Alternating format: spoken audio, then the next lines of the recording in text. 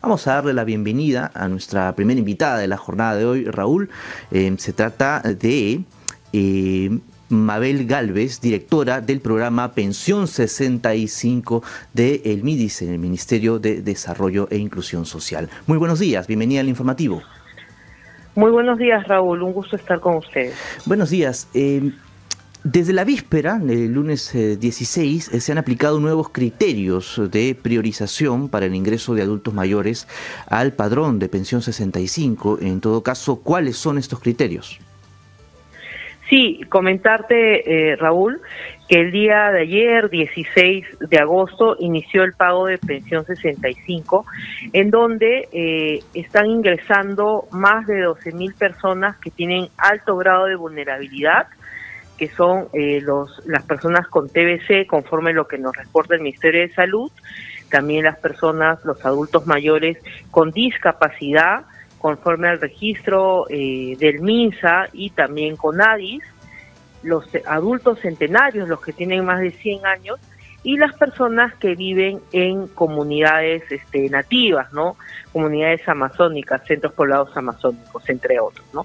Esas personas, esos, nuestros adultos mayores, que eh, vienen solicitando la eh, subvención, la pensión 65, han sido priorizados para recibirla desde ese padrón correspondiente a los meses de julio y agosto.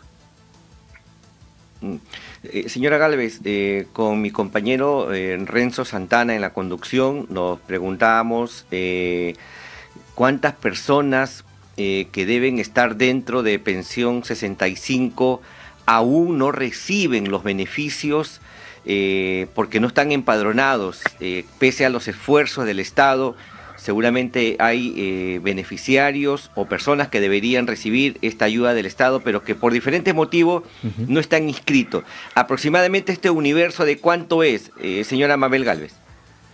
Mire, Pensión 65 viene recibiendo alrededor de 557 mil adultos mayores que cumplen con las condiciones de ser una persona más de 65 años, mayor de 65 años, tener la clasificación socioeconómica de pobre extremo, no recibir ninguna pensión ni del ámbito público o privado, así como subvenciones que otorga de salud, y eh, la reciben, como dije, 557 mil adultos mayores y alrededor de, eh, se, se, estima que son como 130 mil que este, deberían recibirla y estamos justamente ah, en la actualidad realizando todas las acciones para que ellos puedan recibir su pensión 65 en el corto plazo.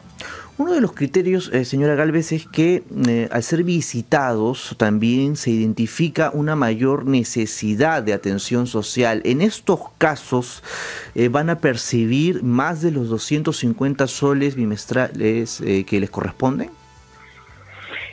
Bueno, comentarte, Raúl, que el programa Pensión 65 es, se da desde el año 2011 y es un paso más hacia la protección social, en este caso en nuestros adultos mayores.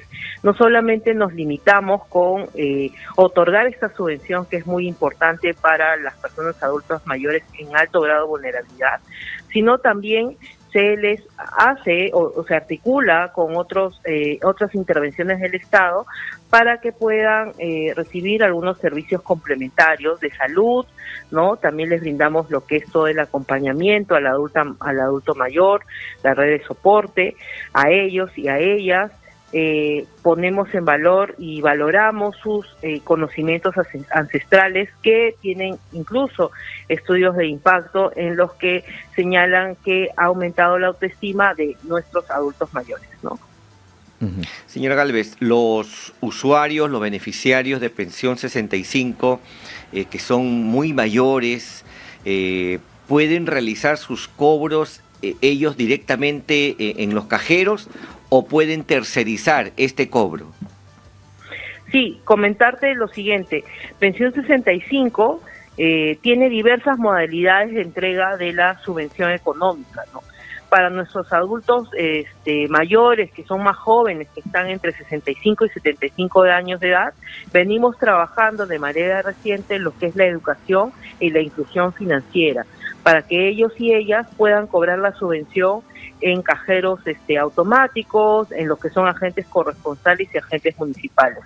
Para los usuarios que presentan alto grado de vulnerabilidad y que no pueden desplazarse a las agencias bancarias porque se encuentran en sus domicilios, tenemos dos tipos de figura. La primera es el pago a domicilio, que se realiza con, en coordinación con las empresas transportadoras de valores, en donde se lleva la subvención a nuestros adultos mayores a sus domicilios.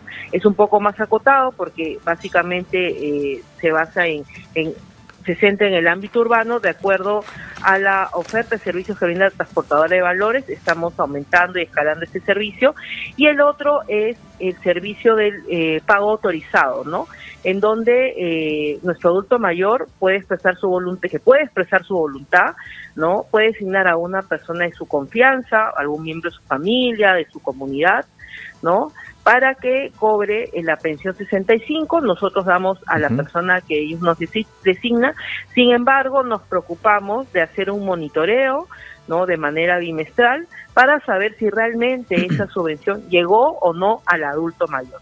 De esta manera no se ve perjudicada su salud ¿no? Porque no se puede desplazar a, las agencias y tampoco lo privamos de recibir la pensión 65. Y, bueno, durante la pandemia, en la primera y la segunda ola, los adultos mayores de nuestro país fueron, por supuesto, los más perjudicados. En ese aspecto, ¿cuentan ustedes con algún porcentaje, algunas cifras de los adultos mayores que, bueno, por la fatalidad han dejado de percibir y que han dejado una vacante en búsqueda para también recibir este beneficio? Comentarte, Raúl, que entre padrón y padrón aproximadamente, digamos, por el grado de vulnerabilidad del adulto mayor, porque se encuentra en una edad sensible, eh, fallecían alrededor de eh, 8.000 adultos mayores, ¿no? Eh, esta cifra ha aumentado en la pandemia, ¿no? Eh, sobre todo durante el año 2020, en donde ya tenemos más de eh, 14 mil adultos mayores que han fallecido, ¿no? Mm. Sin embargo, eh, comentarte además que Pensión 65 tiene un servicio que va destinado a nuestros adultos mayores que tienen un teléfono asignado a su nombre, que se llama el acompañamiento remoto, la visita de remota, en donde llamamos a nuestro adulto mayor, ¿no? Y le damos eh, consejerías, por ejemplo, de prevención contra el COVID-19, ¿no? Le decimos que mantenga el distanciamiento social, el lavado de manos, que no se reúna con otras personas. En, este, en este año eh, promovemos las vacunas, ¿no? En, en, diversas lenguas, porque tenemos adultos mayores en los 1874 distritos del Perú, ¿no? Y con ello ya eh, aproximadamente el 60% de nuestros adultos mayores de pensión 65 ya tienen las dos dosis por el COVID-19 para, eh, digamos, prevenir el COVID-19. ¿no?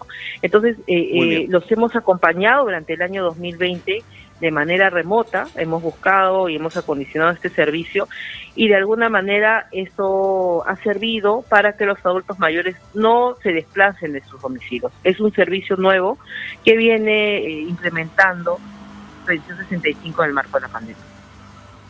Señora Mabel Galvez, directora del programa Pensión 65 del MIDIS, gracias por esta comunicación con Nacional. Muy buenos días. Muy buenos días, Raúl. Muchas gracias.